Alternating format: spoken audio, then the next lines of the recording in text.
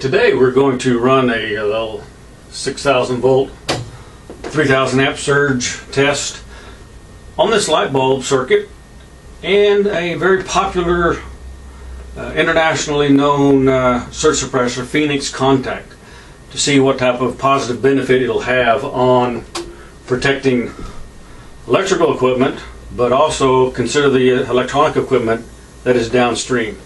Suppressor is installed in parallel to the lighting circuit. Generator is charging to 6,000 volts to be released into the peak of the sine wave. Wow. Imagine if that was your electronic equipment connected to this surge suppressor. Not too much protection at all.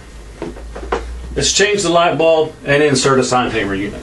Now we replaced, very carefully replaced the light bulb considering all the broken glass and inserted the SineTamer suppressor into the circuit. An LAST 120 3Y2 just like the uh, previous Phoenix contact unit. Generator charging.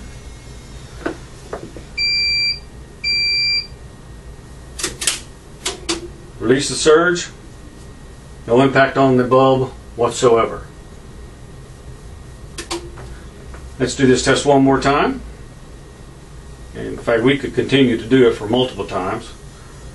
But just for the sake of, you can see it happen here, let's charge it again. Release the surge. And again, just a flicker. Now you can see the, the benefit of having the SineTamer suppressor with its lower residual let-through voltage rating to absolutely provide complete protection for your electrical and electronic equipment.